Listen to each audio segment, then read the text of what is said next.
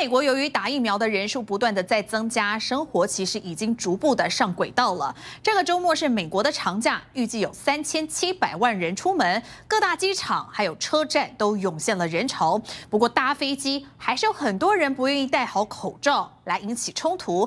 类似事件今年已经有超过了两千五百多起，是往年的二十几倍。画面中，一位空姐正在向一位女乘客说话，没有想到突然间这名乘客朝着空姐狂殴，还好有一名男士见义勇为，但是可以看到空姐脸上流血，并且被打掉两颗牙齿。后来这名女乘客被起诉。今年爆发机舱不守规矩的事件，到现在已经有两千五百起，是往年的二十几倍。口罩往往是冲突主因。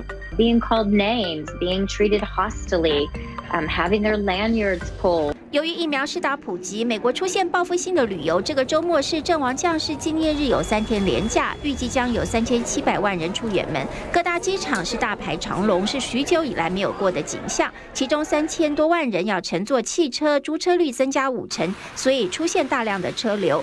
而为了吸引还没有打疫苗的民众接种，美国各州是花样百出。加州除了寄出总额高达新台币三十二亿元的抽奖活动之外，洛杉矶还提出加码的奖励，把职业运动 NBA 湖人队冰球、足球的主场季票当做抽奖品。